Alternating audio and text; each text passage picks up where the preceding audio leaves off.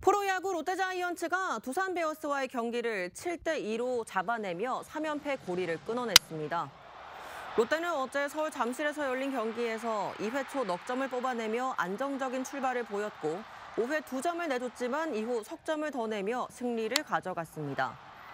선발 투수 에런 윌커스는 두산의 타선을 봉쇄하며 성공적인 KBO 데뷔 무대를 가졌습니다.